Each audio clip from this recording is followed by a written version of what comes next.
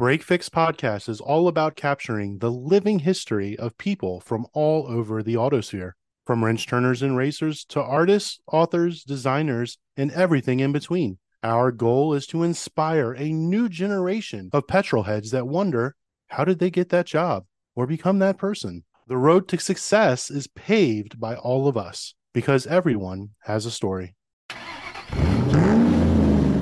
They started a safe space for F1 fans who felt marginalized in male dominated spaces to connect, make friends, and discuss races, drivers, team drama, future goals and aspirations, and everything in between. Their specialty is connecting Formula One to pop culture and exploring the lighter, more fun side to the world's most elite motorsport. That's right, Tanya. Kate and Nicole of Two Girls One Formula podcast fly their fangirl flag loud and proud and are never ashamed to get the label. They understand that you can respect the technical side of the sport and think the drivers are cute too. And they're joining us tonight for a special Break Fix crossover episode. Brad, Tanya, and I want to welcome you both to Break Fix. So, how you doing there, Nicole and Kate? Hi, thank you so Hi. much for having us. We're super excited to be here. Yeah, it's always fun to do a crossover with another show, especially if it's motorsport related. Absolutely. Absolutely. So, as our listeners know, Tanya and Brad are our resident Formula One subject matter experts because they talk about it on every drive through episode since the very first one. There's that expert word again. I was going to say, I can see Tanya rolling her eyes a little bit about It's a that. sh- strong word. Yeah, Eric, you're setting us up to be shamed on our own show. I don't think that's very good. Even if you watch five minutes of F1, you're still more expert than I am in the That's last true. That's 10 five years, minutes more than you've seen in the last 10 years. It's all relative. what I'm hearing here is we're all going to gang up on Eric in this episode. So actually, the whole premise of the episode is to convince him why he should watch F1. And Oh, I have okay, to tell you, using the F1 drivers as cute might get your foot in the door. it might be a good opening for him. I love that. Drive to Survive definitely will not be the way in. I will tell you that right That's now. true. And Oh. it is a known fact on this show that I refuse, even though Brad has tried at multiple attempts unsuccessfully to get me to watch Drive to Survive. It's not going to happen. What's the reasoning behind that? Are we going to get into that later? Hard headed Okay. stubbornness, but we can talk Yes, more about it. All right, we won't jump the gun on it. Uh, well, we're going to unpack that though. yeah. yes, for we have sure. to unpack that. He just doesn't watch F1 anymore because let's not try to talk about like F1 20 years ago because he'll put us all to shame. Got it. Absolutely. Got it. Okay. Yes. Yes. Setting the scene. I'm got my wheels are turning. I'm I'm building a case. I'm ready for this. great, great, great. We'll stop picking on Eric for now. We're going to go back to that. But let's address the 900 pound cup in the room. Tell us how you all became F1 fans. yeah, so a little bit of a long story, a little bit of a backstory is that I was dating someone in 2015 and he was a huge Formula One fan. I had never heard of this sport before and I thought that racing cars was pretty dumb. I was like, this is what you choose to spend your time on? Okay, great. Eventually, our relationship got pretty serious. We moved in together, and my weekends were just dictated by qualifying and when the race was on. So I was like, okay, well, if this is going to be my life now, then I might as well pick a favorite driver and just really get into it because I'm going to have to watch the sport every single weekend my ex-boyfriend was like one of those people who consumed every single interview he like watched all of the race highlights every piece of content and so i started picking up on the fact that daniel ricciardo was like one of the more enjoyable humans to watch on the screen and so i was like he has the best personality that's my guy i'm going to start cheering for him I have heard it said before by other female fans of Formula One. It's the smile that launched a million fans.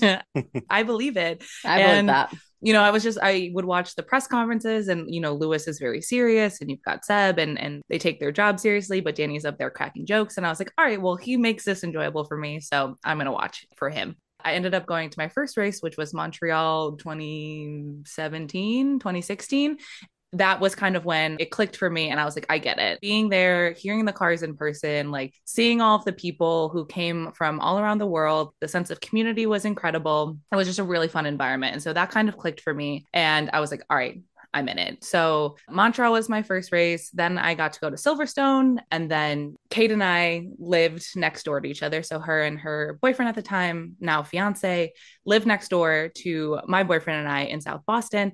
And we were basically just like, come over, watch the race with us. We like to spend time together anyway, and we want more people involved. So, like, come over and hang out. And so, Kate will take over the story now. Yeah. So Nick and I started getting into it just because we would hang out with Nicole and Alex. And at first I was like, mm, this is really just an excuse for me to hang out with my friends. And like, I don't really care what's happening on the TV. Like, if you're going to feed me and also make me cocktails at 8 a.m., I will be there and I don't care about anything else.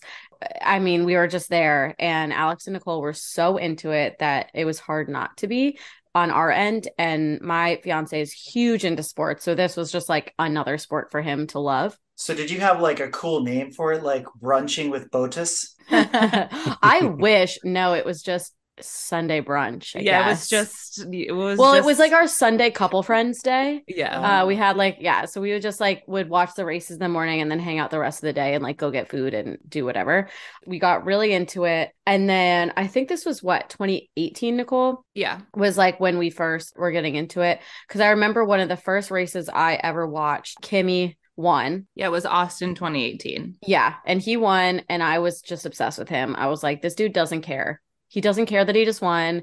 No emotion. Was just like awesome, and I was like, I love his vibe. I love this man's vibe. I love him now. He's my favorite. After that is when Drive to Survive came out. And so we got a chance to like dive a little deeper into it and get to know the players a little bit better and team principals and the drivers and kind of everyone involved, which sealed the deal for us. And then I'll pass back to Nicole for the, the the remaining real part of the story. Before we pass it to Nicole, did you stick with Kimi into his NASCAR era? I guess a couple months ago. We really wanted to go to Watkins Glen. I don't remember why we couldn't, Nicole. I think but- you had a bachelorette party. You're right. I had like I had seven weddings this year, and I was in a Oh few of God. them and had bachelorette parties. And every single weekend for the past like five months has been taken up. So we did want to go see Kimi, mostly because I like wanted to see him, but I also really wanted to see his family because mm-hmm. Minttu and the little ice cubes, they're just the best. And so I was like, if they're gonna be there, I have to be there. So unfortunately, I was not there, but I wish I was. So I just want to clarify for the audience, Nicole, you were actually sort of physically involved with Formula One before Drive to Survive. yes. And then Kate came about it sort of through you guys, the fandom, and Drive to Survive, and then went to your first kind of in-person race after that. So it's a bit of a, you know, Yeah. one side or the other. Okay, cool. Right. Yeah. And so then my boyfriend at the time and I went to Monza and I was thoroughly convinced we were getting engaged. I know Kate was also convinced we were getting engaged. Plot twist, we break up. He has been cheating on me and we break up the Mm. night before the Grand Prix. So I'm like, well, I'm still going to go to the Grand Prix because tickets are expensive and we're here now.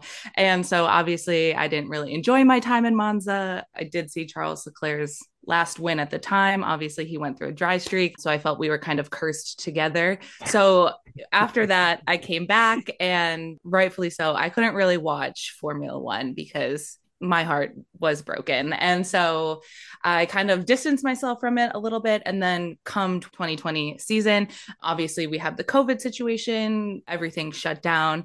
Kate basically came to me and she was like, Hey, I miss watching Formula One with you. Can we reclaim this and like make it our thing instead? Like, let's go back to doing brunches. I think it'd be really fun if we did themed brunches around this. And I was like, absolutely. I'm ready to get back on the horse. That summer, when in 2020, when they were like, all right, we finally have gotten it together, we're going to start racing again. Kate and I were like, all right, well, we send each other so much Formula One content back and forth together we might as well just start an Instagram page for it so that we can separate our main feed and not bother all of our friends with this Formula One content. Let's just find like minded individuals through our dedicated Instagram, which is kind of where Two Girls, One Formula came into play. It started basically because we were just working together out of my kitchen.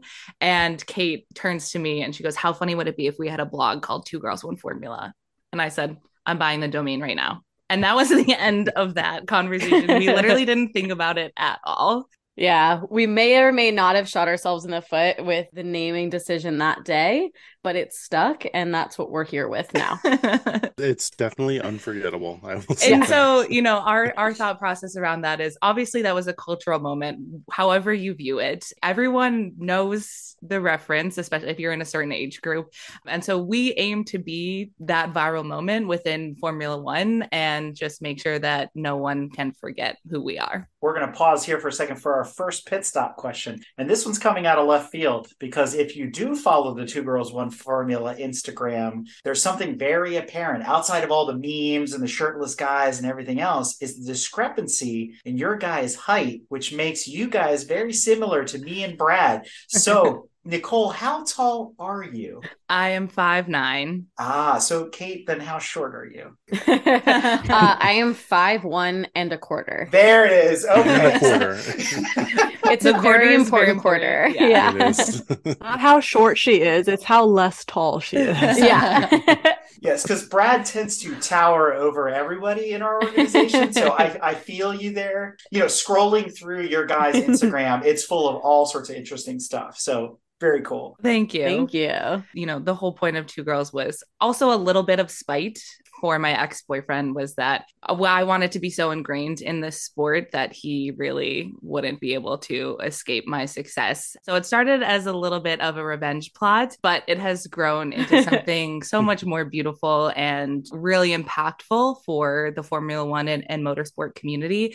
I have to thank him for breaking my heart because without it, we would not have two girls, one formula today. you know, for people who want more on that backstory, catch, you know, their first episode essentially. And there's even more to hear about this somewhat traumatic Monza event. There- there- there's a little, little Italian lady with an umbrella. There's a whole thing going on with that.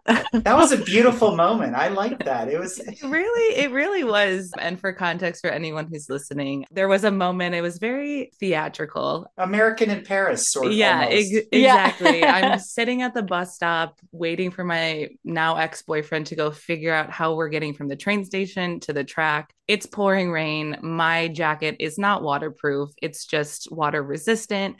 I'm soaked through. I don't have an umbrella. I'm waiting at the local bus stop. You're crying. I'm crying. This woman just comes up to me and she just like doesn't speak a lick of English. She just stands next to me and holds her umbrella over me. And I was just like, this is one of those like humanity is a really good moments. and so I think about her often. Any plans to return to get your vindication, as you said? Yes, we definitely need to reclaim Monza. We're thinking, we're hoping to do next year Nice. the Monza Grand Prix just to reclaim it. Are you going to stop by that bus stop? I mean, it's right I think outside. we have to. It's right outside the train station in Monza where you take it if you're coming from Milan. And so it's hard to miss. So I will definitely be passing by and saying a little prayer. Yeah, you should take your own umbrella in case it's raining, and then You're you should so right. pay it forward to You're the next. Person. Yeah, you the have to hold it Brad. over someone there. else. you're so right. I'll just leave it there for the next person. with a little note saying Yeah. thank you. Yeah, exactly. That's it. Yeah. since you guys are in the podcast biz as well, take us through the difference between episode one, as we've sort of been highlighting Hmm. here, to your 50th episode. Congratulations, by the way. Thank, Thank you. And here's to 50 more. So, what have you learned 50 episodes later? A lot, but also not that much. you know, it's funny. I haven't really listened to our first episodes in a long time because they just kind of make me cringe because we literally had no idea what we were doing. We had no scripts, no agenda, no like anything. We just would get, I mean, the first three episodes that we recorded, we recorded them all within a week at Nicole's apartment in Brooklyn. I went there. Some of them we were just like laying in her bed right here in this in this room. yeah, in that room, we were just laying there recording. I don't even know what we were talking. We had like grand plans. We're like, the first episode is going to be about us, and the second one is going to be all about F1, and the third one is going to be all about the people you need to know. And it was just chaos, and they're really funny. I need to go back and listen to them. To be fair, we literally we're like, who knows how many of these episodes we're gonna do? A couple of people had asked us to start a podcast, and we said, All right, fuck it, we'll do a podcast. And so we like bought Yeah. mics. We weren't sure what equipment we Fifteen needed. dollars off Amazon, and we're like, we're just using our computers, these crappy mm-hmm. mics. We'll see what happens. And I mean, I like to think that in the past 50 episodes, we have kind of found our voice and our niche and exactly kind of what people care about, the ways to talk about things that are interesting but still educational enough that people know what's going on. We still don't totally do agendas. we're working on it. We're really trying. We do have like a shared notes app that we will like pop things in and we try to organize it, but it, it doesn't totally work. But I think we're trying to learn how to do like segments and like segment our thoughts. I mean, the thing that I think people like about the podcast for us is that it's very much just a real conversation between the two of us. The conversations that are on our podcast are literally conversations that we have just like every single day on the phone. Like, I will just like in the middle of the day FaceTime Nicole just because like I am bored and we'll just like talk. And afterwards, we'll just be like, that should have been a podcast episode. Like, that was funny. uh, so it's just like, that's just kind of how it feels. So, in some ways, I'm like, I don't think we've learned too, too much because we haven't really tried to be anything that we weren't when we started the podcast. But I do think hopefully we're a little better. Where I think we're a little better at editing. I think Yeah. Nicole has really honed her skills in Thank you. editing the podcast um, because we used to only get comments like your sound quality is so bad. Well, I think there was one of the episodes where you guys were like, "You should really listen to this in like two x," and I'm like, "What?" I'm like, "Okay," like, "All right." But I will say that it's kind of funny how when we all get started, we sort of have a similar story. I bought the cheapest thing I could find at Yeah. Walmart or on Amazon, and we just threw it up against the wall and, and saw what stuck. Right. And and the same thing, Brad used to always say, you know, it's kind of BSing in the basement. And I think we all apologize for our first season, right? We're kind of Yeah. like, yeah, it wasn't great, but you know, it got me to where I am today. I will say, Tanya pointed out as we were all reviewing and, and following your show that there has been a big transition. You can see it. The show has matured quickly in 50 episodes. So you guys are definitely on the right track. And we're really curious to see, you know, how that perpetuates. Thank, Thank you. you. One of my favorite episodes was the road trip, one of the most recent ones, the, the road trip from Dallas to, to Austin. Uh, The, the sound quality was great on that one. I'm sorry the mic didn't stick to the steering wheel for Oh you. Though. my- That- That was probably the funniest thing that's ever happened. We were so proud. We are like, this is perfect. Like I had it in the steering wheel, like perfectly hooked up, and then immediately had to back up and like back out of my parking And like spot. a So I had to like turn. turn the wheel so the, the microphone is like spinning and the cord is pulling and the laptop's moving. We're like, this is a disaster. I think the road trip episode is a perfect like encapsulation of our brand a little bit, where it's just kind of like we're getting the authentic us, and uh, you know, people were comment giving like replying to us, and they were like, "This has been my favorite episode yet because it's just so chaotic." Did you guys have like a camera hooked up watching you guys? It'd have been funny to see Nick in the back seat. No, we my God, I should have. We had grand plans to like GoPro and like do all of this, and then we just never got our shit together in time to like do it. yeah. I mean, we were listening to just like murder podcasts the whole time and just like singing musicals. Like that's that was the vibe. Like I wish we had a camera because people have been like, "That's what you guys are doing." I'm. I was just like driving one hand, holding a microphone. Like anyone that drove by us was definitely like, "What's happening in that car?" It was. Nick was just laying across the back seat. It, Yeah. it was two girls, one car. I mean, come on. Yeah. Exactly. It really was. It was fun. And I think, you know, we've learned a lot. We've had the opportunity to have a handful of guests on the podcast. And so I think we've also learned how to be better interviewers and like how to pick guests who are going to be like enticing and interesting for our audience members. We're continuing to grow and and learn in this space just like you guys probably are as well. now you guys live apart. You guys used to be, you know, next door neighbors, right? So could get together, do your brunches, your lunches, your late afternoon, maybe even middle of the morning, 2 a.m., depending where the race was being held. What are uh, some food tips for people if they want to hold a little F1 brunch? Did you guys have like actual themes per race, or was it like it's Brazil? So we've got something Brazilian. It's Italy. We're getting pizza. Yeah, it started out pretty simple where we would just we would say, okay, races in Russia. So like let's look up what people in Russia usually have for brunch, and we're gonna make it. And then you Nice. ordered something else, right? Because no, we made them. We and did. We had- had white Russians at 7 a.m. ah, at that one may, time. hey, like dude. Brad's listening now. You got his attention. you have my attention. That is the drink of choice. Yes. because this all happened like when the pandemic first kicked off. And so I was living actually here on the Cape. My parents live here and I live on their property now. But we were here living with my parents for a while, and Nicole basically came and lived with us too. Much to the chagrin of my parents, we would be up at like the crack of dawn, just making the most random foods that everyone was like, What is this?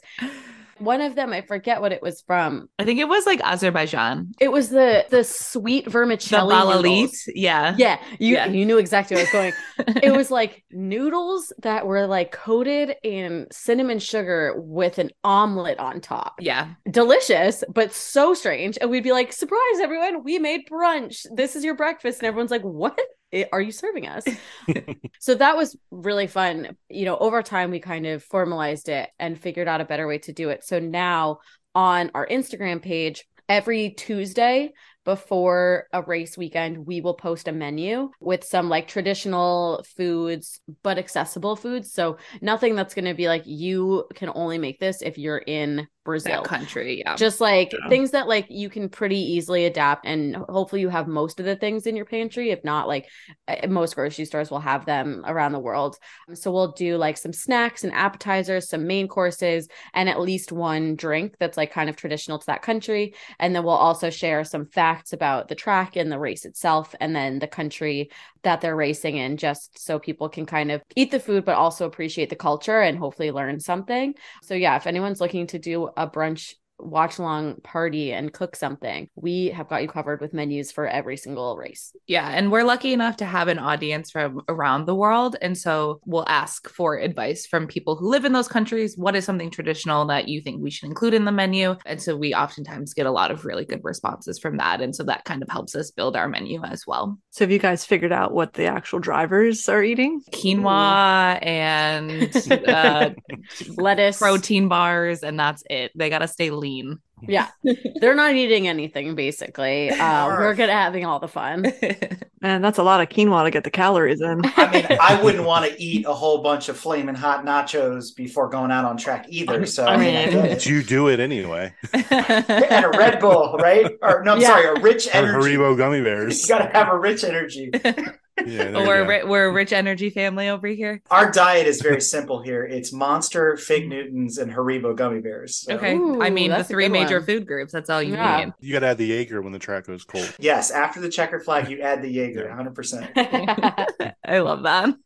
yeah. So brunches, you know, kind of whatever. And Kate and I used to do it together. Now sometimes we trade off. Like Kate has mentioned, she's been very, very busy in a lot of weddings. So I also uh, have a deep passion for cooking. So more often than not, I'm the one who's yeah. cooking. She's way better. She's way better at cooking than I So, you know, I'll just I'll take the opportunity to do that. And since Kate and her fiance live on the Cape, they don't have as many people around. So sometimes I'll make a really big spread and invite a bunch of people over Nice. to enjoy the spread and to also convince them that they need to start watching Formula One as well. So it's a little bit of a trap. You're an evangelist that way. That's exactly. awesome. So if I can get you up and Adam by 9 a.m. for food at my home, then you're trapped here and you have to watch the race. All right. So, second pit stop question Do you guys have a bucket list of any car, any track you want to see or be at? Your ultimate F1 race, what is it? A, I'm not super knowledgeable on a variety of cars. I know names and that's basically it. And I'm also not very good at historical like versions of the F1 cars. I can't say that I have like a dream car, but I would love if the Nürburgring came back because that is one that I am dying to go to. So maybe if there is another series going on there, I'll make my way over there to go see it just because I think it's a beautiful, beautiful track. I would love to go to Suzuka and Singapore. I think those are the two that I would just like love to go to. I think they're so fun. Like I would love to see Singapore like th- at night Mhm. and I think it's just such a cool city and I love the vibe that F1 brings to cities and I think that at Singapore would be crazy and I just think Suzuka is so fun and those are the two I think that are the most bucket list because I think they'll probably be the hardest ones for me to get myself to. I've got a photo somewhere of a part of the Singapore track from my hotel room when I was there a number of years ago. Cool. Like you could you could just see like oh the bumpers and like it disappeared under whatever like bleachers to the soccer stadium or something. Cool. So it So was pretty cool. cool to see that. You'll have to find it and, and shoot us an email with it. I'll have to dig deep for it. Brad and I want to do uh, dueling GTIs at Yas Marina, so it's a whole, Mm, whole different okay. experience. Okay, yeah. As I mentioned at the top of the conversation, I have yet to watch a single moment of Drive to Survive, but you guys are both fans and you've been to races in real life. So let's do a little bit of this versus that. Drive to Survive versus IRL or in Ooh, real life. What do you guys think? Okay, so here's the thing. I know Drive to Survive gets a bad rep. People who have watched it before get angry that there's so many Drive to Survive fans. However, as someone who didn't have anyone in their life who watched it before, I just had my boyfriend and I, and I was desperate for my friends to be a part of this. I am grateful that Drive to Survive came around because it welcomed so many new people into a sport that is historically kind of tricky to get into. There's a lot of terminology that you can't pick up right away, especially if you're not in tune with car culture at all. It's very technical. You're kind of thinking, especially as an American fan, what do we have? We have NASCAR, we have IndyCar, and barely anyone knows about IndyCar. Well, now they do, but I feel like prior to that, it was like just NASCAR. So you're like, okay, they're going around in circles, whatever. You know, to have this show be an accessible way for so many of my friends and loved ones to be like, okay, like I understand the appeal of this. I'll wake up with you at 7 a.m. to watch this sport. So for us, we're like, great. I love that this is a tool in my toolkit to convince people to Yeah. want to be fans of this sport. Do I think that you should also get your ass to a, a real race? Absolutely. Because, like I said earlier, that was kind of the moment for me where it clicked. Hearing the cars, feeling the environment, seeing the drivers in real life is just like taken from your screen, and you really get to experience that. hmm Now, not everyone has the ability to go to a race. They're getting more and more expensive. And, you know, some of them are in the far reaches of the globe. And so I think Drive to Survive is a great way for people to connect with the sport. In America, we love stories and we love Mhm. TV and we love rooting for an underdog and we like to get to know people's stories. Like, I mean, that's why reality TV is so huge. Like, we like to know everything about people and about things that we care about. And so I think Drive to Survive kind of hit the nail on the head in order to get American fans involved and invested because you can watch races and you can watch press conferences and you can be like, oh, like so and so does this a lot. And like, I know this person. But to have Drive to Survive kind of going behind the curtains, even if it is a bit contrived, it's obviously not fully real conversations, but I don't think they're fake. Like, I think the Mhm. situations are real. And maybe it's just like, oh, we're going to film you guys talking about this. So you're not going to have like a totally natural conversation. To be able to have that, to be able to get to know different people involved in the sport is huge for people to get invested and choose someone to care about because you can see their personality a little bit more. Like Nicole said, a great educational tool for people that have no preconceptions about what this is. I personally have been trying to get more into other motorsports since, you know, loving F1 and I really want to get into MotoGP. Like I want to be like a huge fan of MotoGP so badly. For those that don't know what that is, that's the Formula One of motorcycle racing. Motorcycles, mm-hmm. yes. I want to be a big fan of MotoGP really bad. I think the athletes there are so cool and so fun and like are a little bit more like personality and spirited than F1 drivers. Like they just feel like they have such huge personalities. Because they've got much huger balls. Yeah, exactly. Huge. yeah. They're like, "Oh, I just broke the entire right side of my body, but like I'll be back in a 3 weeks." And I'm like, "That's crazy to me." So does this play into the whole, you know, Hemsworth when he was playing James Hunt and the quote from Rush where he's like, women are attracted to race car drivers because they're so close to death. So do, do the motorcycle guys like Maybe. take it to the next level? Like they're even I think hotter? they do. Because I'm like, yeah, and let me tell you, they work out to be able to have that core strength. But for me, I was like, I'm watching the races, and I tried to just like dive in and be and like follow people on Instagram and watch the races, and I was like, I have no idea what's going on, and things are happening so fast. The announcers are talking so fast. I don't really know what's going on. Amazon Prime did a series on MotoGP that was very similar to Drive to Survive. It was awesome for me to be able to watch that and like get to know who the different riders are and who the different teams are and kind of the dynamics between them and how things work and like what is big drama there and like what is something to watch out for. And like if that happens like that's not normal or like if someone falls off a bike that's pretty normal in a race where like in F1 I feel like if there's a really big crash that doesn't happen every single race but in MotoGP it's like it's pretty common I feel like we just like canceling Haas altogether. I mean, we're gonna get to that later, but there's literally a wreck every race. They they wreck before the race though, I was not gonna say we've got Latifi. Semantics now. I see what we're doing. I see what but we're at doing. the same time in F1 if there's a big crash it like halts the race. Yeah. you i mean their safety cars with MotoGP they're just sliding off the track and they're just kind of you're good because it's not like a huge car with like things they're just like on their butt sliding across.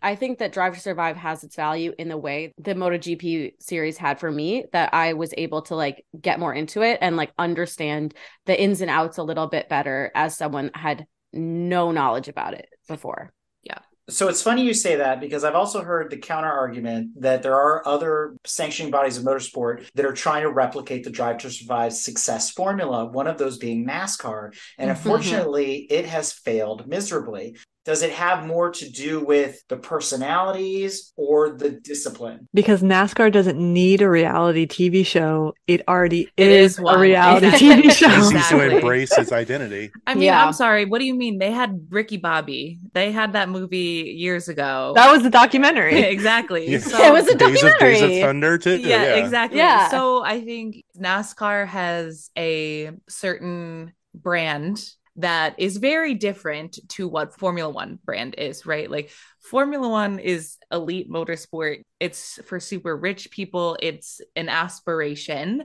to be able to go to these races. Like you see the celebrities. Obviously, in America, we have an obsession with celebrity culture. Whereas I don't think that that reflects the same as it does in NASCAR, where it's like you're drinking Busch Light in your cutoff shorts and you're sunburned and it's trashy and that's fine. And I think it's great. I'd love to go to a NASCAR That's race and charm. experience that. And that's its charm, but it's very different. And I think people think about when F1 kind of blew up and they're ta- thinking about the Austin Grand Prix and we think about last year and all of the like crazy stupid American stuff that they made the F1 drivers do and the rest of the world was like look at the Americans and like look at how dumb they look with our elite motorsport. I think a lot of people just considered F1 to be similar to NASCAR and that's kind of why they didn't consider it a fun Yeah. sport but now they see that it's different. Yeah. But I think F1 is the gateway drug into other motorsports. And we've seen that with our community, and that so many people come in through Drive to Survive through F1, but then are like, okay, I'm interested in IndyCar. I'm interested in the feeder series. I'm interested in yeah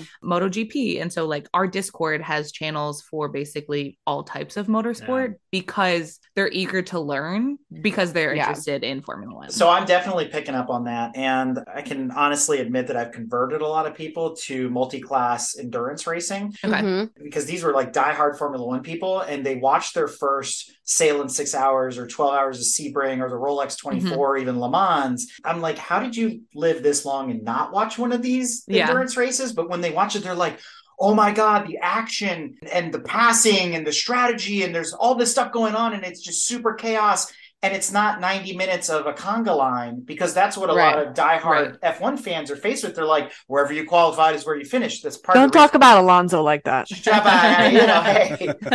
My thing is, I can't watch spec racing anymore, right? Yeah. I gave up on Formula One really after the V10 era. okay. So in the old days, you had a mix of stuff. You could do V8s, you could be 6 Mhm. turbos, you could have six wheel Mhm. Tyrrells. They were at the cutting edge of technology. Now it's like well, there's three chassis builders and three motors, and we Yeah. debate this all the time. So for me, I see it as I hate to say kind of boring versus multi-class endurance Mhm. racing. You've got Porsche and Ferrari and Corvette and Lotus and whoever and all these people. It's kind of cool to see them going at each other, and you can distinctively tell the difference between them. The other thing I kind of take issue with with Drive to Survive, since we're speaking candidly about this, and I don't bring it up too often on the show, that he's never watched.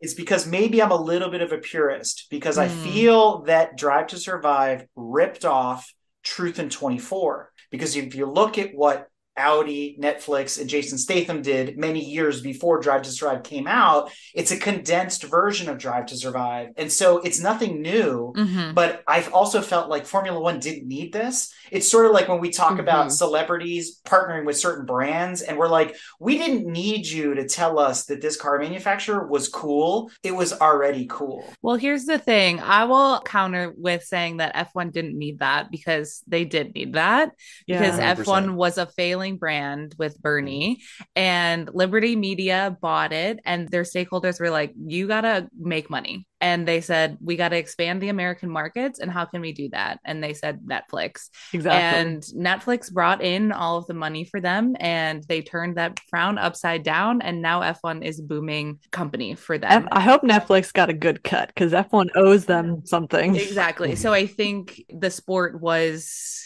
stale. And I think before Liberty came in, social media was not a thing that drivers were really allowed to participate in. They kind of were just Formula One drivers and you didn't know them outside of that. And now this whole new version of Formula One has kind of come to the surface. And so I agree with you. I do think that sometimes it's a little bit boring, but I think that it's only going to continue to evolve. Whether or not people agree with this, you, Eric, with the purist situation, and that I think a lot of decision making is going to go into it to make it. And we've even seen with Abu Dhabi last year with the Lewis and Max finish that things are going to start to happen for dramatics and to make it more of an exciting sport to watch at maybe the detriment to the driving itself we are used to now having this very, you know, I think of the Bachelor season, the most dramatic season yet, which is how I think Formula mm-hmm. One is like starting to feel that way. It's a dangerous line that they Yeah. need to not cross, Yeah. or it becomes NASCAR Right. drama. They almost crossed it last year at Yeah. Yeah. The, the final race. Yeah, I have mixed feelings about that. Exactly. So, you know, but if you think, okay, if that had finished under a yellow flag, that that would have been so anticlimactic to a pretty exciting season. Obviously, the way that it finished was shitty. And so I think there's still a, a lot of things that need to be kind of ironed out, but it's interesting. And to your point, there's no way, I don't think, this many Americans would be on the F1 bandwagon without that No, show. No. No. Because right now, I think there's rumor that the Las Vegas race next year could possibly be bigger, more expensive than Monaco. Oh, I believe it. I believe that 100%. And that's Drive to Survive. Yeah. Yeah. 100%. Here's my problem. We've gone to some F1 races in person. I still watch them occasionally. Again, I don't subscribe or watch Drive to Survive. But what I take away from that is there's all that hype and the drama, and it keeps the excitement going throughout the season. But if you take that away, Formula One is still boring. like the racing to me is not as exciting as some of the other disciplines like MotoGP, like WEC or IMSA or some of the other ones where there are these real battles and you're rooting for a manufacturer that you can identify. Because if you can tell me the difference between the AlphaTauri, the Red Bull, and the Toro Rosso, God bless you. Because to me, it's like watching Spec Miata racing. They're all the same. Well, I'll say this is kind of where we come in. We care deeply about the individuals as well, Right. which makes the sport not so boring for us because we're like, we want to know what Pierre's doing the whole Yeah. weekend. We want to see what outfits Lewis is wearing to the track because, like, we care about not just the action on the track, like, we care about everyone involved in the sport as well, which gives us a lot of content to talk about, right? Like we talk about the wives and the girlfriends, and we talk about things like peripheral people in the sport, like their trainers. And like if we were just watching for the racing, yeah, I'd probably be pretty bored. But the fact that we have kind of an emotional investment into the people behind the sport gives more value Yeah. to the sport it, it, as a whole. I think it's like priorities and true interests and like what Mhm. you care about the most. And like, I think that if you're someone that really cares about cars and auto manufacturers and evolution in that space, then yeah, Formula One probably right now is super boring because they have cost caps, they have only a certain number of manufacturers, they have all these things that's like there's not a ton of innovation happening really. So I can see why you might be bored by that. Yeah. But I think that if you're kind of in it for the lighter side and for the people, then it's not super boring. So I think it's just kind of which way you're looking at the sport from for that. So here's what you have to do, Eric. You only need to watch like the first 10 laps. It's super exciting. You're like, damn it, Mhm. Ferrari's got this. They're going to do it. And then some Yeah. shit happens. And then you're done watching. You can just walk away. Like, Exactly. Yeah. and then maybe the last lap, just in case. just in case.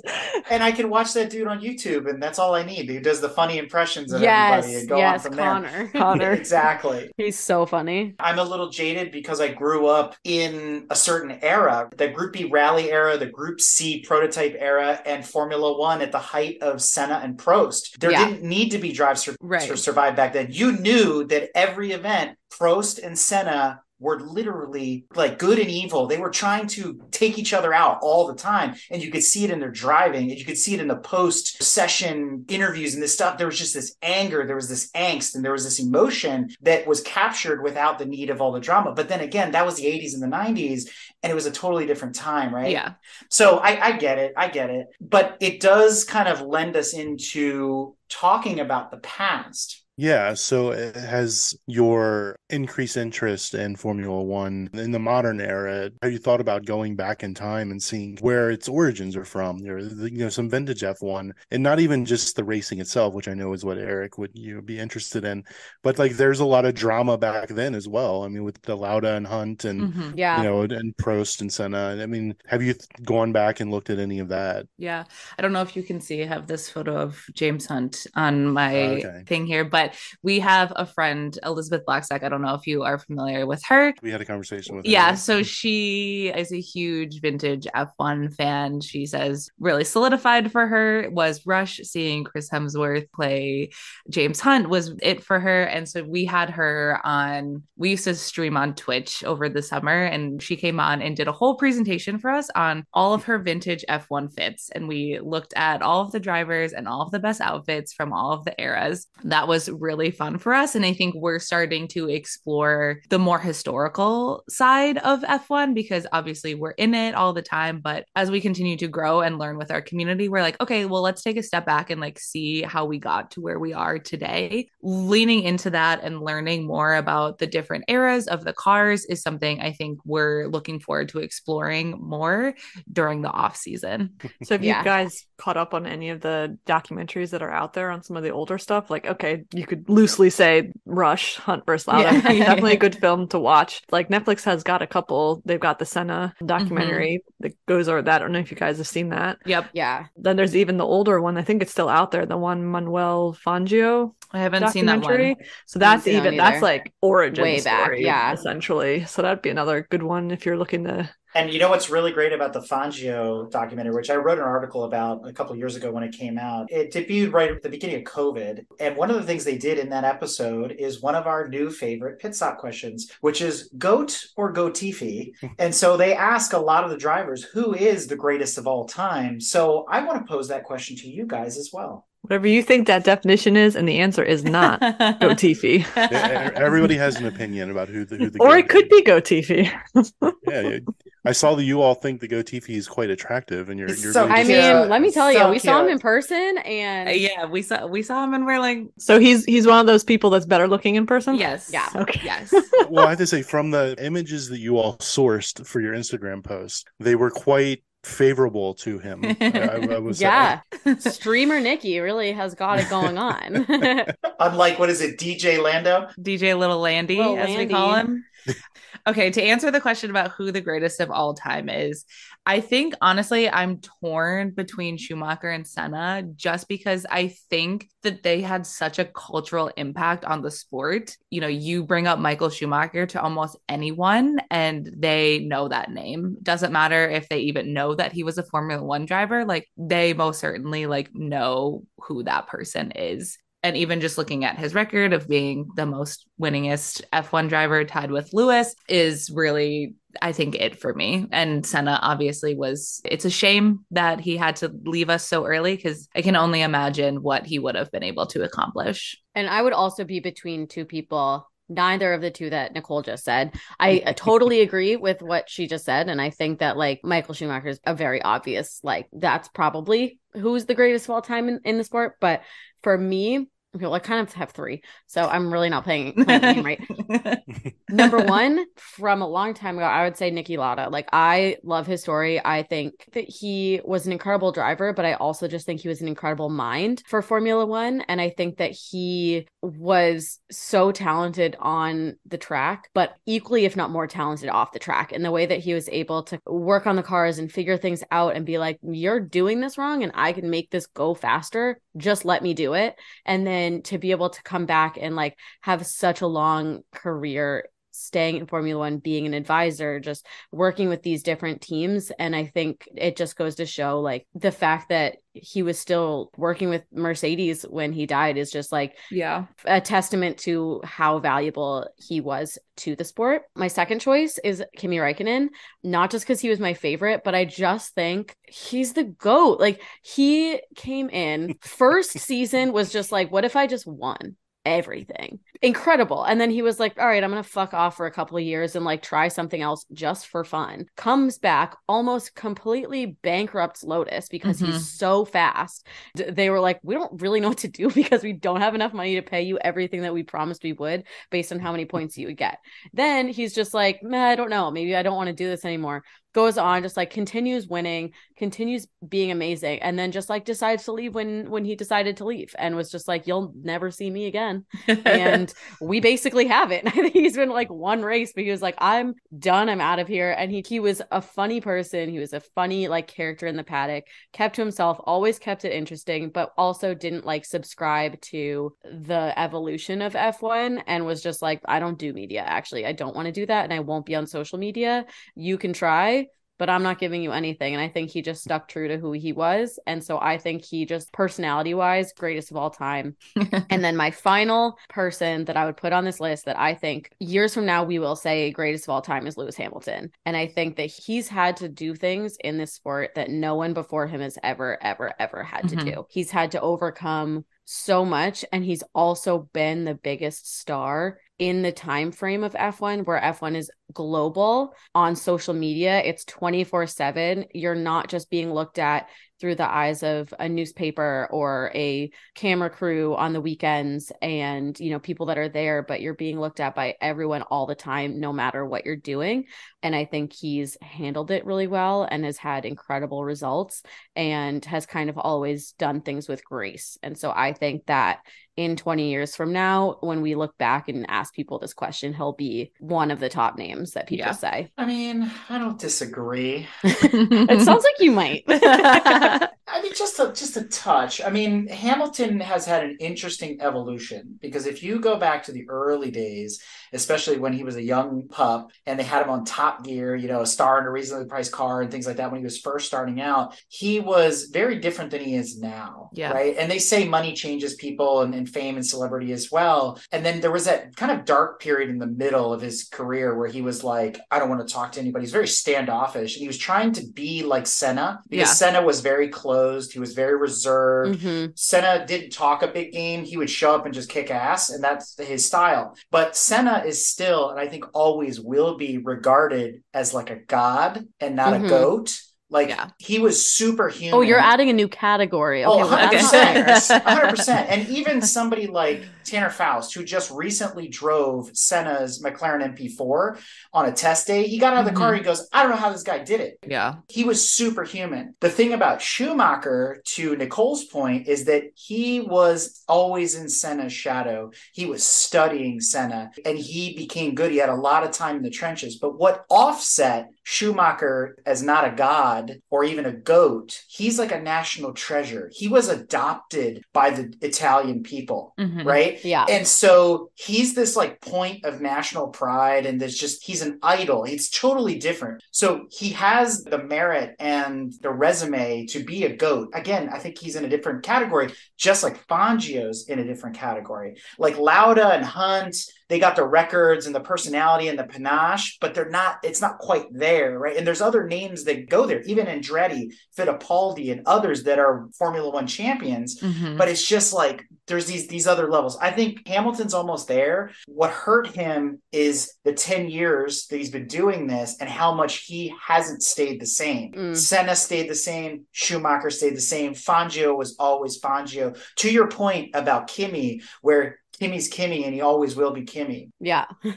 So that's where I, I, I kind of diverge on that, but you're, you're making very valid points across the board. But Hamilton has had to change because of the way the world has changed over the last and the way he's been over, over the treated by course the of his career. He's gone from just like an F1 champion and, and superstar to like a social justice hero for the people that don't have a voice. And he's using his voice for that. And I, you know, so he's using the platform and, you know, Ecclestone's gone. So the collar's off and now people can do what they want. And he's using his platform to try and do good in the world. So that's he probably would have been doing those things before if he was able to. I'm going to be honest, I didn't love Lewis that much when he was Nico's teammate. I just thought this guy is insufferable. I didn't particularly enjoy his personality. And then he did, I watched that show. Is it Larry David? I'm trying to think. And my next guest is who is that? David Letterman. David I would love. sorry. I would I'm love to see Larry David do Sorry, that show. yes. I was like a late night I Hamilton, could not remember David Letterman. And my next guest is, and Lewis was on it, and I watched it, and it was kind of a different side to him. And I think that was kind of a turning point for him, where they were kind of like, we're changing your PR, and we're like diving deep into like this softer, more personal side of you. And ever since then, I feel like he has been a different person who has been more outspoken about his struggles and other people's struggles. To your point, Brad, about like being a voice for people who don't necessarily have access to the platform that he does. Speaking of insufferable people, um, Russell, his teammate. That's personal opinion, Oh but God, I- yes, I- yeah, I don't like that and he might be the answer to this question, but I doubt it. Sexiest F1 driver of all time. Let me tell you, I saw Jensen Button in person in the paddock in Austin, and I was like, yeah, that man is handsome as fuck. He's tall too. And I was just like, yeah, he's top of the list for me right now. But Mark Webber also is mm. really up there too. Yeah, yeah, yeah, yeah. Y- A young Jacky Ickx will always do it for me. I'm too busy like choking down my laughter over here because I can guess for Tanya who it is. And it's not Ayrton Senna. It's Nigel Mansell. She loves that Tom Selleck Mustache. broom mustache. Well, Kate and I were literally talking earlier today about we need the return of the short shorts. Yes. Uh, David Coulthard with that No. shit. Yes, the chin. It's the chin. it is quite No. impressive. I did walk by him one time, but no. I can't say David Coulthard is the sexiest F1 driver. Absolutely I know I not. can't say that in full No. confidence. but I also will say, young Jacky Ickx, I love him. But also, and I'm going to bring him up again, Kimi Räikkönen. He went through a phase when he was younger. He had longer blonde hair that it was sometimes spiked, sometimes not, sometimes just a little bit long. There is one photo of him wearing a white wife beater, tight pants, and a fur. I don't know coat. if you can say that, Kate. I don't know if we call them that anymore. I don't know what else we call them. Tank top. it's a wife beater. Sorry. It's a- it's a- Um, I'm not saying character wise, but that's what they're called. And it's like the best photo I've ever seen. And he went through a big fashion phase. So he's my favorite. And I think yeah, he's early so 2000s. sexy. Kimi you was guys, you guys got to go back in time. Take a look at Eddie Irvine and Alex Zanardi and Damon Hill and some of those guys. Oh, from- Damon Hill is Here's yeah. the thing. Here's the thing. You asked is for the sexiest, and I'm answering. I'm surprised you didn't say Leclerc. He's beautiful. Okay, I think he's like, yeah, he's like he's gorgeous. not sexy though. He needs a couple more years to Yeah. like mature into himself. Yeah, I'm like, I think he's like too young for me to say that he's like the sexiest. His personality ruins it for me, though. That's Really? fair. I I, I don't like Leclerc as a person. All right. So, Before a fight starts. yeah, exactly. has F1 changed your appreciation of the car hobby? Nicole, you said at the beginning you weren't really interested in cars when this all first came about. So has your opinion changed? A little bit. My ex used to play this game where he would just see a sports car on the street and he would be like, Do you think I would be hotter if I drove this car? And I would always be like, No, because I don't care about sports cars that much. I still don't particularly care that much. I don't think anytime soon I'm going to get into like rebuilding my own car. But I think that I have learned a lot more about the car hobby. There's so much going on that I simply don't have time to dive too deep into all of this because I will literally not have a life if I do that. You've just defined our entire show. yeah. You know? I still have to do other things. And so that's the extent of my car hobby situation. What about you, Kate? Pretty much the same. I've never been super, super into cars. I think I have an appreciation for like nice vintage cars now. Mm-hmm. Like, I mm-hmm. think like looking at them, I'm like, I can recognize more cars on the street and be like, oh, that's this that's cool or like oh that looks like an old version of like this kind of car and like i know that that's cool but like i can't totally tell you why nothing crazy like i'm like i can tell that something is like a corvette and like that's pretty easy. but I did buy my first car, owned a car before, but I bought a car by myself for the first time ever this summer, and I did get the sport version. Um, so I feel like I probably wouldn't have done that if I wasn't into F1.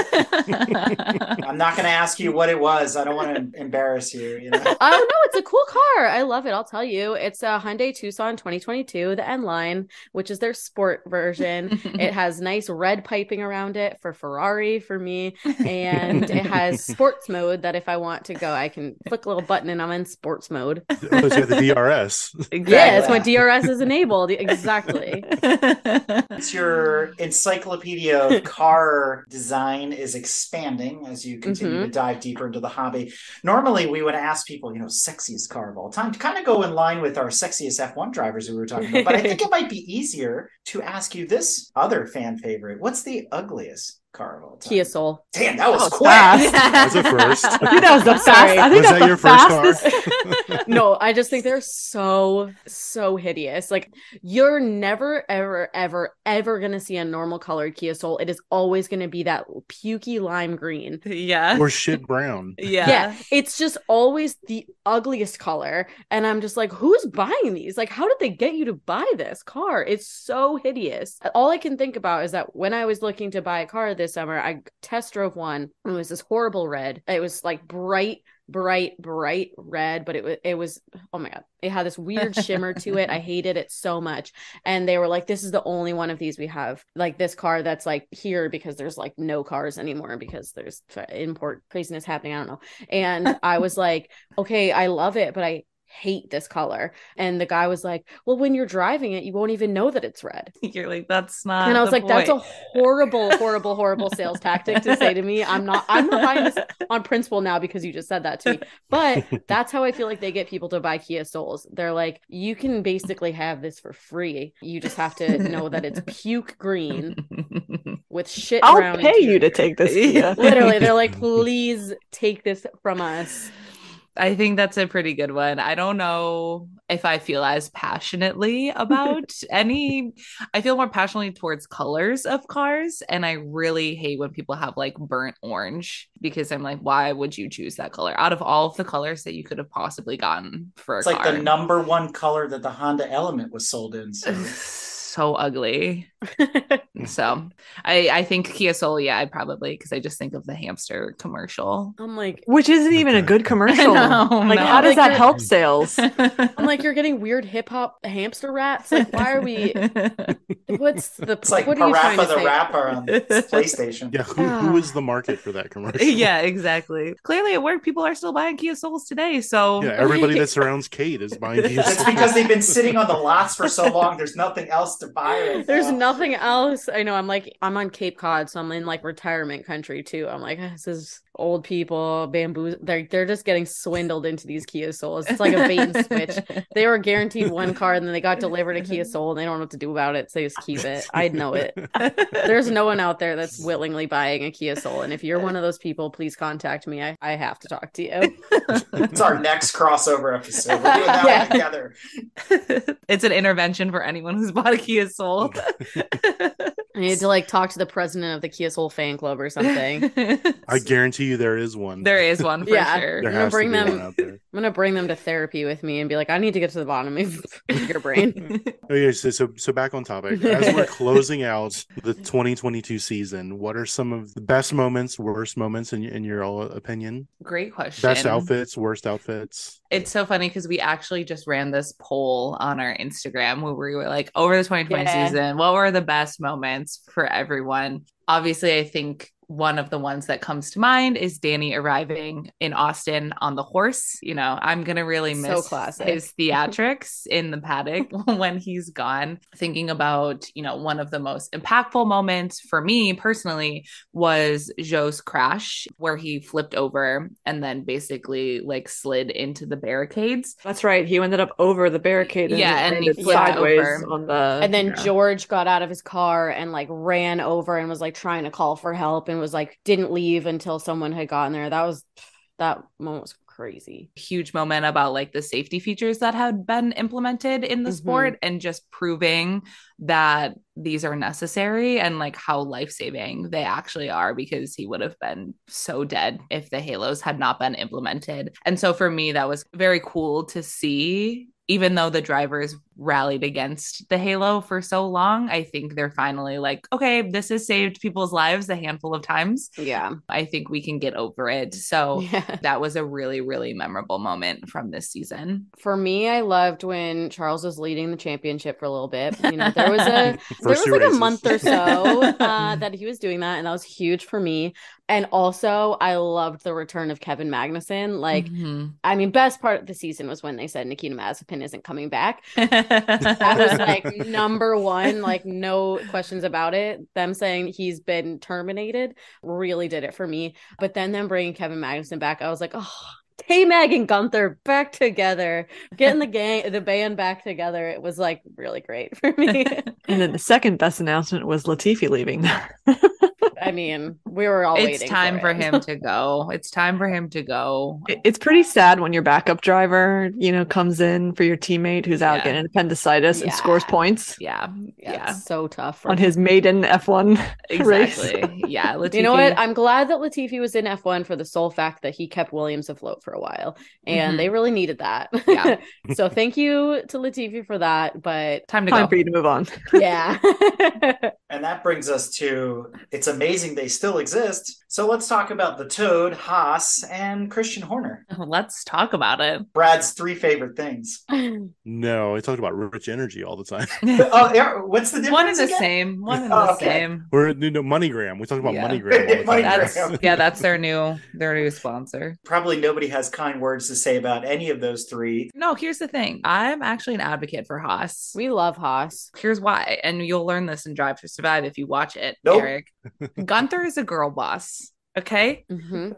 Oh, Gunther's awesome. Gunther said, I'm going to be a team principal if it's the last thing that I do. And he put his ass into gear and he convinced Gene Haas to buy a team and make him the team principal. He seems like the most unlikely team principal person too. With no prior experience, no qualifications, he was just like, "I want this." He was like I an see it, like it, engineer, I it, I so he it. kind of has a little bit of experience, but he basically was like, you know what? I'm gonna fast track this, and I'm just gonna get someone else to buy a team for me. for He's this. Basically like the it. Lance Stroll of team principals, where Yeah. he went to Gene Haas, got him to buy the team and install him as the team principal. And so I appreciate that about Gunther, and I appreciate that about Haas. I think Gunther continuously gets the shit beat out of him by how horrible his team is. Still, he rises, in the words of Lewis, and I just appreciate that about him. I also think Haas has no pretenses. They're not trying to Yeah. be better than they are. They know that they suck. They're not going to ever say they're better than anyone or They're like No, the Like best this season when Gunther was like, "Oh, they're talking about me." That just means that they're jealous. When Haas was like doing well for a little bit, he's like, if there's rumors starting about me, that means that I'm doing well. So keep talking. He was like, no press is bad press, baby. And then they're like, what if we took sponsorship money from these like tiny boats in like weird houses and we just like take pictures in front of them? They're like, we're not too good to. that was for the Aldi catalog. Yeah. They're like, we're not too good to take some photos for Aldi. Like, Haas is never going to say that they're too good for something. And I appreciate them for being self aware and just being like, we're the shitty team and we're going to do what it takes. But on the other side of that coin is Williams, who needs to fess up and quit being in denial about how they Yeah. suck too. But Exactly. they have a ton of pedigree behind them. And actually, Haas Mhm. does as well, because if you go back in time and look at when it used to be Newman Haas racing, especially stateside and things like that, there is a lot of background to that Yeah. brand and to that family name. But to your point, I mean, we're talking at the, the bottom of the bottom. So, what do you think about them potentially becoming someone else? You know, there's all these rumors about Audi and Porsche and all this, other, all these musical chairs going on. I think that they'll be Haas for at least another couple of seasons until Gene is like, I have absolutely no more money to give to I this have team. nothing left to give. Andretti can come buy it. Yeah, and then everyone's gonna say no, Andretti, you cannot join F1. It doesn't matter, right? Because they got a team, and then they don't have to worry about the money because they don't have drivers, so they Yeah. can hire Mario Andretti. We already saw that So at Laguna true. Seca. Might as well put him in the seat and start the Andretti franchise that way. Haas is like so dysfunctional, right? I mean, to go beyond what Kate was saying, let's go there. You know, we already talked about he might spin, or um, excuse me, Mazepin. Mick Schumacher is on the unemployment line Yep. right next to Danny Ric. I know. Kate and I just talked about that earlier today. We recorded our weekly episode and we were just saying, not looking good for Mick. So in the beginning of the season, yeah, there was a lot of crashing, but he's actually been doing really well. He hasn't done that Yeah. that bad. And Gunther basically gave him the ultimatum that he had to win a race to stay at Haas. And you're like, Come that on. you're like, that's not even possible. Like you're asking him to do the impossible here, but, But is it though? Because we speculated about this on several drive-through episodes where we said, what if you put Lewis or put Max in the Haas car to prove whether it's the drivers or the chassis? Okay, well, look at how Lewis has been doing in his current car. I do not think that he would do well in the Haas at all. There's no way. There's no way. The Red Bull is like cheater program they've got in it. Like yeah, I think Max is, and so this is why I think Kate and I have talked about this. Why George is 15 points ahead of Lewis is that George came from a shitty car. Easier to go from shitty to good than good to shitty. Yeah, and so he knows he's like, this is an increase. Like this is 10 times better than what I've been working with, so I can work magic on this. Meanwhile, Lewis is so used to being ahead and winning, he doesn't know how to be in the middle of the pack in a kind of shitty car. Okay, so we'll flip it the other way. You put Mick on the test track in a Mercedes, and all you need to do is look at his lap times. If he can't qualify at the same level as the current drivers of those cars, then is it the driver or the car? I mean, the proof goes either Yeah. way. Well, to your point, it's harder to put Max in the Haas because the Haas is basically handicapped compared to Mhm. the rest of the, the cars in the fleet. But again, if we flip it the other way on a private testing day and he can't put the numbers down, then he's not qualified to be there. I agree with that. Yeah. And I think that that would be a fantastic way to judge people. Everyone gets the same car. It's how it used to be done. Just And- throw it out there. Bring it back. Bring it back. We'll start the petition. There's a lot of upheaval. I mean, that's my outlook on the 2022 season with a lot of names disappearing. Who's Mhm. going to be filling those seats? Again, you got Audi and Porsche can't figure out. Yeah. Well, no, I mean, well, P- Porsche played a game that they lost at, and now they they're crying and they want back at the table. Audi is committed. I was gonna say, isn't Audi coming in with uh Red Bull? Did it is that- Sauber. Sauber. Oh, Sauber. So in 2026, they'll, they'll be here, and I can't wait because now I have to root for Audi and Ferrari. You're be busy. Well, you'll just have to root for whichever one is doing better. exactly. Whoever's in the lead, I'm rooting for. until they blow up. Twice the uh, chances to root for a number two. Again, but it's chicanery all over the place because even there, some of those petitions have been, well, we're going to put stickers on the blah, blah, blah chassis with the Honda power plant. We're like, well, is that really a Porsche? Like, what Yeah, is that? Right. right. So I think there's a lot of, I'm going to, I'm going to use a football phrase. It's a rebuilding year.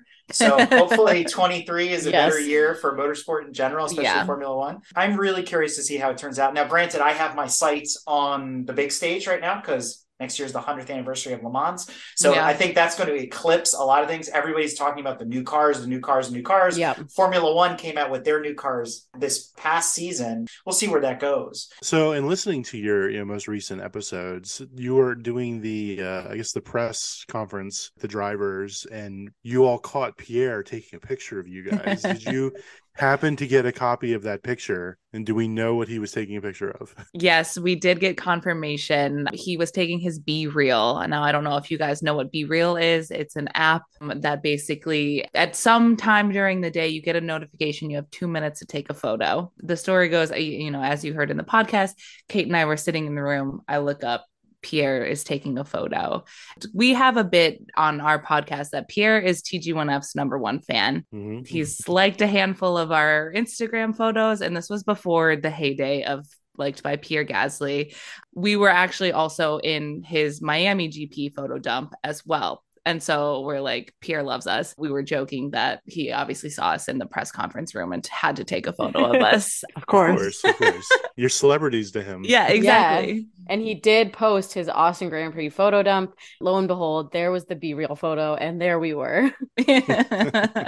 So we're we're two for two on USGP photo dumps for Pierre on Instagram. I think he is your number one fan. I mean, He what else is to there to say? point. Like he's not beating the allegations. Yeah, he's not taking pictures of other podcasters, No, is he? he's No, just of us. not. And if he is, he's not putting them in his public photo dump. So you guys will be in the next roundup. Promise. Nice. So I guess sh- shifting gears a little bit. Pun intended or Pun intended, totally. Not that Formula One cars have a traditional shifter anymore.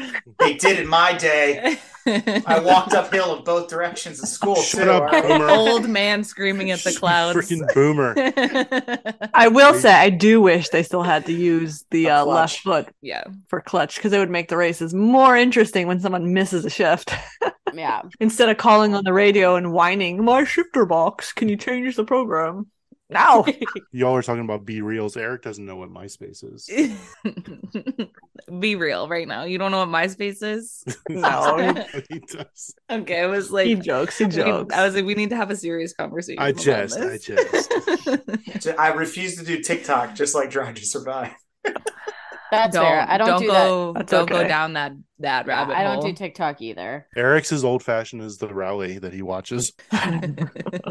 Rally is still a thing. I have to- Is it? it? Not in the US. When was the last time there was a US rally? That's one of the motorsport series that I want to get into. I want to get into rally racing. It needs a, it needs a drive to survive. It doesn't need If any any, of if that. any motorsport needs a drive to survive, it's rally. I will give you the shortcut. It's very simple. Download the Red Bull app. They condense everything for you. If you Okay. want to watch the long format, you want to get in the car with the drivers, which is super cool to watch them and the navigators doing their thing. Red Bull TV, everything's shot in 8K now. It's like super crystal clear. It is fantastic. Okay, and I will give you one thing. If you want to find a new fan, even though he retired last year and now he's a team principal, go back and watch the in-car footage of Jari-Matti Latvala. He is known as the madman of WRC for a very good reason. I don't want to spoil it for you. okay, I'll get into it. It's awesome. Did you get the sense of excitement? I did, and he's sold me on it. So I'm gonna go do that, and then I'm gonna follow up later. you guys did not sell him on Drive to Survive. That's though. okay. I'm going to That's point that okay. out. No offense. You know what? We did our best, and maybe one day we'll wear him down. Can't teach an old dog new tricks, you know? Zing! So speaking of old dogs and new tricks, besides Drive to Survive and all that kind of thing, you know, from your perspective, women in motorsport, what can be done? It, it's been traditionally kind of a boys' club, right? The old dogs. How can it be more inviting in your guys' opinion? You you guys are making it more inviting with your podcast. Well done, kudos. But I guess outside of that, the greater motorsports industries, what do you think they could do? I mean, I think the first thing is just visibility. And I think there's like, there are a lot of people that are out there that are like, we need more women in F1. We need more women in F1. And I think that that is fair and we probably do. But I think even more than that, we need just visibility into the women that are already in F1, that are already doing the work, that are already have made it there. And we need to kind of uplift those platforms and those women. I mean, the whole thing is visibility. If you can't see it, you can't be it. And like people need to see representation in order to think that they have a chance. And, and you know, not everyone needs that. Some people can just like kind of take the bull by its horns and do it. But there are so many women that are already in F1 in various leadership positions in, in various team positions that I think it's just recognizing them more and seeing them more from the teams. Red Bull has done a good job this year of highlighting Hannah Schmitz. And I think that's been great and huge for people to actually see like recognition for someone in her position. But even press officers, even like heads of communication, Susie Wolff is doing a great job just kind of like being more vocal and, and being more kind of as a figurehead. But I think it's these teams' responsibility to showcase the different people that they have on their teams um, and give them more visibility to people so we can see kind of who's already in there. So then once we can lift those people up and show their value and their worth and show people what's already going on, then that just kind of opens the door for other people to think, I could do this and I'm going to pursue a career in this and, and try to get in there and have all of the same skills, same qualifications, and go in there and say, I'm going to do this as my career too, and not really think about it, not give it a second thought. To that point, too, around visibility is like getting new fans in, right? Traditionally, like you said, it's been a boys' club because I think car are traditionally billed as a boys thing from you know a young age whereas women may get into it later and sometimes it's a little hard to approach because you're later in life and all of these men have already been doing it and, and they know all this terminology and you try to ask questions and they make you feel dumb. With our spaces like there are no dumb questions. Doesn't matter what your level is as long as you are willing to answer other people's questions. Like phenomenal.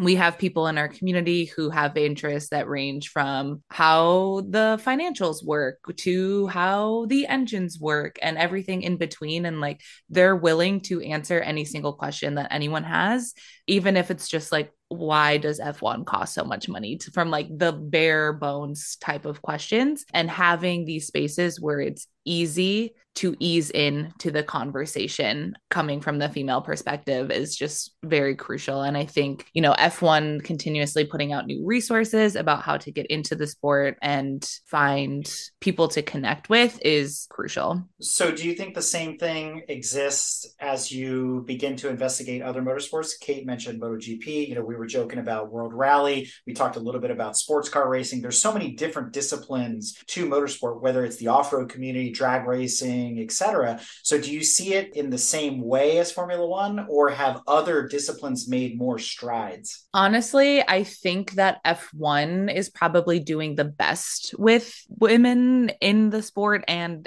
as fans. I don't think that we're seeing as much growth in the other areas other than I would say IndyCar is a close second because I think a lot of women feel that IndyCar is also very accessible and it's kind of close to Formula One. That's generally the next path for them. But I would say that all motorsport are facing the same problem is that they're not doing enough to support the female fans and not doing enough to showcase women in leadership or higher roles within the organizations. All very valid points. I do think there's a discipline of motorsport that might actually be doing this better than IndyCar and Formula One, and it's less recognized, although on the big stage, and that's actually sports car racing. Because if you look at it, the barrier to entry for female drivers actually, a- you're right Yes. Is a lot lower. We'll just look at last year's Le Mans with the Iron Dames and all the yes. other females that are running on various teams at different levels from the production based cars to the prototypes and everything in between. So I think sports car is embracing women without making it apparent. They're just yes. doing it without bringing attention to it. And here's my biggest problem with the open wheel community it's Formula W. Mm-hmm right? And as a father of girls, I look at it and go, why can't motorsport be co ed? Why Absolutely. does a Formula W have to exist? Why aren't these women running alongside of Leclerc and Latifi? I'm sure they're all better than Latifi, you know, and, and so on down the line. I don't like that segregation where yeah. it's like it's like the WNBA. Why can't they just play with the men? And I hear the excuses on I, I call them excuses, the justifications and rationalizations on both sides. But to me, in motorsport, motorsport's always been about run what you brung. It doesn't matter who's behind the steering wheel. And I think Formula One, in contrast to what you were saying, is actually behind the curve because Formula W exists. No, I would agree with that. And Kate and I have this conversation all the time that, like, I can kind of see the justification for the WNBA and the NBA because they're playing on a more physical kind of level. Whereas you're driving the car, the car is not gendered. You do not have to be a certain gender to drive a car. People always ask us about W Series and, like, if we like it or not. And we're like, well, we appreciate that there is something for women, but we don't appreciate that it is seemingly lower than F3 and it is that there's no direct there's no direct pipeline. Yeah. It's seemingly no one wants to support these female drivers, no one wants to give them an opportunity. And so, yes, I 100% agree with you on the fact that that is behind. It's a check the box to say we're being diverse Exactly. and inclusive. Like, okay. I mean, that's across the board with basically all their initiatives across diversity. And to speak to the sports car world in terms of the path and the growth forward, there is actually a path. Again, they're not doing a good job of advertising it and putting it in mm-hmm. people's faces. But as a female driver, you're listening to this going, well, how do I get out of club racing with SCCA and NASA into the world of, of sports car racing? If that's what you like, go to World Challenge. You start in touring car and then you work your way up to GT cars and then so on down the line. And then World Challenge is a gateway to IMSA and WEC and, and so on down the line. And so there is a progression path there. Yeah. But again, they're not, in my opinion, not doing the greatest job of, of bringing it out there and saying, hey, look what we've got. comes right? back to visibility, right? And like showing people what the options Yeah. are and showcasing that this is a path forward for men, women, whatever you are. Honestly, that's kind of our hope with the growth of Two Girls One Formula is that we're expanding outside of just Formula One and showcasing all of the different avenues that are possible for women in the motorsport world. But obviously, we cannot do everything all at once. And so it's, it's definitely something we're looking towards the future and helping gain some visibility for our mostly female audience to be like, here are all of the options. It's not just Formula One. If you're interested in cars, like, here's how you can get involved, and here's a career path for Yeah. you.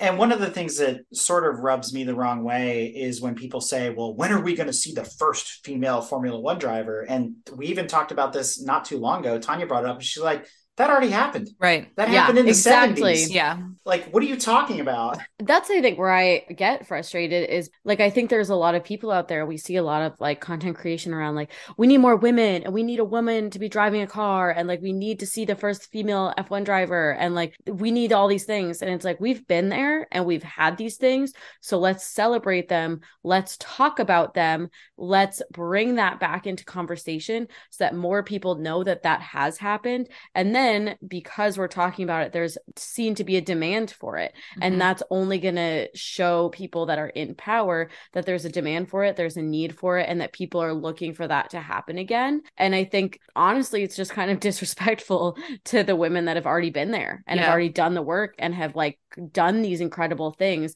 to say like yeah yeah yeah you did that but we need another one right now. And like we need to be in there and like we need more of this when it's like don't discount what's already happened. Like don't discount progress that's been made and and even if your hasn't been as good and like maybe it hasn't been like prolonged and the sport hasn't taken hold of it like don't take that away from the people that have Mhm. already had those accomplishments and been the first Formula One female driver or been these people that have done these things because to discount those and say that that's not enough is saying that those people are not enough. And I think that is like the problem that I have with a lot of the discourse around this Mhm. topic. And I think that's where organizations like Women in Motorsports North America or WIMNA, who you know is Yeah. headed up by Lyn St. James and other veteran female racers, is setting itself apart from a lot of these other organizations. Like you're talking about, that are maybe are a little bit more superficial. Look at us, look at us. You know, we're we're starting the trend. It's like no, the trend was started a long time ago Exactly. with people like Michelle Mouton and Janet Guthrie and, and Lynn herself and other people. And they're like,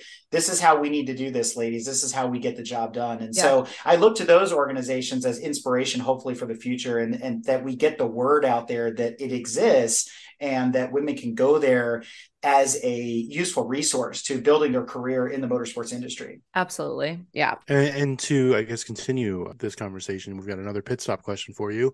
So, of all the successful women that have raced over the years, and we call them the, the glorious ladies of racing, are there any on your bucket list that you'd like to meet and talk to, interview with, maybe have as guests on your podcast, you know, things like that? Well, first of all, we'd obviously love to have Jamie Chadwick on the podcast because she has just been the number number one champion the past three years in a row for the Mm. W Series, and she's absolutely crushing it. You know, we used to joke that we were gonna get into crypto and start a DAO to buy Haas. With Dogecoin, Brad's got some. Yeah, From exactly. his Cybertruck. Uh. Perfect. We were going to kick Nikita Mazepin out and instill Jamie Chadwick. This was before he got fired. You would not believe the backlash we received on the internet for this joke. We posted a reel from our podcast where we were talking about this bit, and we just got like decimated by like people. death threats of people Yeah. being like you are the stupidest people in the world you're so like i can't believe that you're such idiots like you don't even know anything you don't know all the steps you would have to take you can't just buy a team and put someone in there we were like have you literally ever heard of a joke Have you ever looked at the history of any of these Formula One drivers? I Right. mean, I was like, That's- oh my god! I yeah, like I'm like, I'm sorry. Lance Stroll's dad bought him a team and put him in there, so like I think I could probably do that for Jamie. All right, Yeah. I'll be her dad. so we were and it was just like we had to delete the video because they were just like spreading our they were like we hope they get cancer. We hope they die. Like it was like Wow. so so bad. That was a real day to be a woman on the internet talking about motorsport. But she is one of the leading ladies of the females in motorsport right now. And so i think that she would definitely be someone that we would love to talk to because we're eager to help support these women in their journey to become formula one drivers or you know more professional drivers in whatever series they're looking to do. And obviously you know we had danica patrick who's you know been pretty successful in her career. How can we spread the good word and and help jamie get to where she needs to be? I really thought Danica was going to be the next female in Formula One. Not to say the first, but the next. the next right? yeah, i mean it looked pretty good for her for a while there And then she took that left turn, and then she made another left turn, and another left turn. all and- the left yeah, turns That was Um, it. She went left, left, left, left, left. yeah I love Toni Breidinger. I think she's really cool and like is bringing a whole new vibe to women in motorsports. She's a race car driver, but she also like has all of these like beauty brand partnerships and has like worked with like fashion houses and like is just kind of bringing like a new spin to motorsports and saying like I'm a woman that drives a car, but that doesn't mean that like I don't care about my hair and my makeup. Like I can be both and I am multidimensional and I care a lot about what I look like and do all these things. But like my job is that I drive race cars. And I think she's really cool and is kind of starting a new conversation around that. Hopefully, I think more women that do that will show brands that like they can sponsor women in different ways. And it doesn't just have to be like Monster Energy sponsoring this girl. You can be kind of multifaceted as a woman. And I'm really excited to start seeing hopefully a diverse set of brands getting into the space of motorsport, which is exciting. And then obviously we'd love to talk to Susie Wolff. Like I have to talk to her someday. Like I have to have her on the podcast. And I don't even want to talk about Toto. I don't. I kind of do, but I don't. I want to talk about like her career and like the steps that she's like carved her own path and she's driven F1 cars. Like she's one of the women that have done that. And like I think she has done a great job of keeping visibility on women. So I'm trying to talk to her. When you were mining your Bitcoin and you were going to buy your team, you were going to put Jamie in the seat. Who else would you put in the seat? You got your team. You got to have two drivers. You got well, two it was still going to be Mick at this point. So we were just going to kick out Mazepin and keep Mick. well, you're going to do an all female team. So you got to kick Mick out. Well, so then it was going to be to- Toni, Jamie Jamie, and and Toni. Toni. yeah, Yeah. yeah. Well, why not? Why not? So, would you guys go totally cliche and you go back to the old Force India livery where they're like all pink, or do something different? We did discuss that our car was going to be, we are going to bring back the bubblegum pink and it was going to be an all pink car. And we were really just going to lean into the girly vibes and we were going to get sponsors like, I got one for you. I got one for you. okay, tell us. Splayed across the side. Kotex, the best. Period. okay, Ricky Yeah. Bobby. Tampax. We're really lean into it. Well, it was just going to be the two girls, one formula team. We were going to hypothetically have enough money that we wouldn't need any other sponsors in this fantasy world that we had created. I like Yeah. that. That- That's the same thing we do when we have our three car garage fantasy. So yeah. Exactly. So it's just going to be Team TG1F, no other sponsors. So ladies, We've come to that point in the episode where I like to ask if you have any shout outs, promotions, or anything else you'd like to share that we haven't covered thus far. Give us a follow at Two Girls One Formula on Instagram and TikTok. Unfortunately, it's we're not at Two Girls One Formula on Twitter because you can't have that many letters in your username. Give us a follow. Check out our podcast if you're at all interested in pop culture side of things. And another plug is that we do have a website, two girls one where we do sell some pretty fun merch if you're looking for some not team branded Formula One merch. We always have new collections. And also, just as a quick aside, Two Girls One Formula is spelled T W O, and then the one is a numerical one. There is someone else that has numerical two girls, numerical one formula, and that's not us. But you'll know because they haven't posted in over a year. Two years. The Two Girls One Formula community is inclusive, welcoming, and accepting of all types of fans. It doesn't matter if you started watching yesterday or 20 years ago, they are here for you to find people to connect with in a meaningful way. To learn more about Nicole and Kate and keep up with all things Formula One with their unique perspective on this great discipline of motorsports, be sure to tune in to their show, Two Girls, One Formula, on all your favorite podcatchers and music apps. You can also find them on socials at Two Girls One Formula. That's Alpha Two Girls Numeric One Formula on Instagram, TikTok, and visit their website www.twogirlsoneformula.com. Go for the F1 and stay for the friendships. That's right, Brad. And Kate and Nicole, I can't thank you enough for coming on Break Fix. This has been a lot of fun. We enjoy doing crossovers. I also want to say that we've been very fortunate to have a lot of women on this show, and you guys are joining an elite cast of folks. And what you're doing for the community at large is absolutely amazing. I know it's going to have a positive impact for years to come. And again, I want to celebrate your guys' 50 episodes, and here's to 50 more. So thank you and congratulations. Thank you guys. Thank Thank, you you, so for much. having us and all of the kind words. This has been really, really fun. And thank you for being kind to us for not knowing as much about cars as you all do. So thank you for going easy on us. We're still early in our car journeys. So we'll have to come back on in two years and revisit all of these harder car questions. See if Kate gets a Kia Soul or not. Yeah, exactly. We want to know about Monza. That's what we want to know. Yeah, about. we'll circle So back. true. We'll circle back after I reclaim Monza and see where we're at then. If you like what you've heard and want to learn more about GTM, be sure to check us out on www.gtmotorsports.org. You can also find us on Instagram at Grand Touring Motorsports. Also, if you want to get involved or have suggestions for future shows, you can call or text us at 202 630 1770 or send us an email at crewchief at gtmotorsports.org. We'd love to hear from you. Hey, everybody, Crew Chief Eric here. We really hope you enjoyed this episode of Break Fix, and we wanted to remind you that GTM remains a no annual fees organization. And our goal is to continue to bring you quality episodes like this one at no charge. As a loyal listener, please consider subscribing to our Patreon for bonus and behind the scenes content, extra goodies, and GTM swag.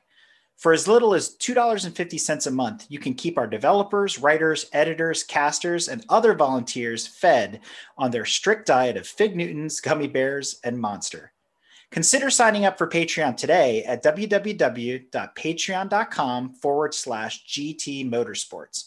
And remember, Without fans, supporters, and members like you, none of this would be possible.